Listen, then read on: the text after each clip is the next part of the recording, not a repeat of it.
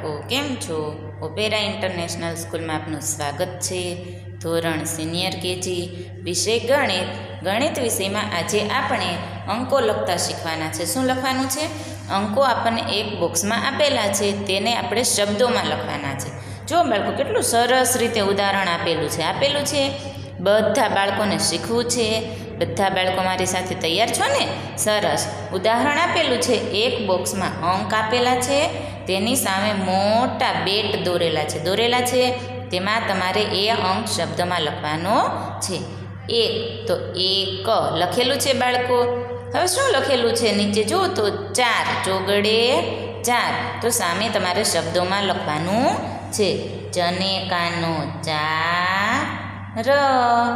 લેખો ને બાળકો સરસ રીતે હવે નીચે જુઓ, તમને કયો અંક આપેલો છે? આઠડે આઠ. તો સામે શબ્દોમાં લખવાનું છે, અને કાનો, આ ઠળિયાનો ઠ આઠ પછી નીચે કયો અંક આપેલો છે? પાંચ. આપેલું છે બાળકો? તો પને, કાનો, પા, માથે મીંડું, ચકલીનો ચ, પાંચ. સરસ વળાંક સાથે વ્યવસ્થિત લખવાનું છે. લેખો ને બાળકો, સરસ રીતે.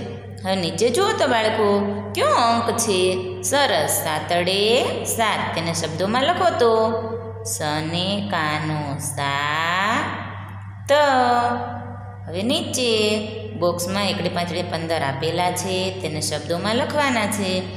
પને માથે મીંડું પન દ ર પંદર. લખો ને બાળકો સરસ રીતે. હવે નીચે જુઓ, કયો અંક છે બાળકો? એકડે પગડે બાર છે. લખો તો શબ્દોમાં, બને કાનું બા ર દસ આપેલા છે, તો શબ્દમાં કઈ રીતે લખાય? લખો તો સરસ રીતે મારી સાથે. દ, સ. લખો ને બાળકો સરસ અને સુંદર અક્ષરે લખો છો. સરસ, ગુડ. હવે કયો અંક છે? કોણ કહેશે મને? સરસ, તગડે ત્રણ. તો જો આપણે ત્રણ લખવું છે, તો કઈ રીતે લખાય? કે ફોર કાઇટ હોય ને, આપણે અંગ્રેજીમાં લખીએ છીએ બાળકો, કે ફોર કાઇટ. એને ઊંધો કરવાનો. શું કરવાનું? ઊંધો. એને ત્ર કહેવાય. શું કહેવાય? ત્ર. હણા ફેણનો હણ. ગયો ને બાળકો? ત્રણ. કેટલું સરસ રીતે લખતા આવડી ગયું. હવે નીચે જુઓ કયો અંક છે? નવ. તો તમારે શબ્દોમાં કેમ લખવાનું? ન વ લખ્યું બાળકો? સરસ. તો આપણને એક બોક્સમાં અંક આપેલા છે. એ જ અંકોને આપણે શબ્દોમાં લખવાના છે. તો આપણે સરસ રીતે શબ્દોમાં પણ લખ્યા. લખ્યા ને બાળકો?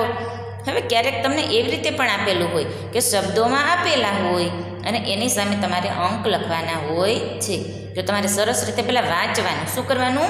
વાંચવાનું. જો દાખલા તરીકે તમને ચાર લખેલું છે અને તમારે અંક લખવાનો છે, તો ચોગડે ચાર લખવાનો. શું લખવાનું બાળકો? ચોગડે ચાર. જો બાળકો કેટલું સરસ રીતે તમે શીખ્યા અંકોને શબ્દોમાં લખતા શીખી ગયા. શીખી ગયા ને બાળકો? સરસ.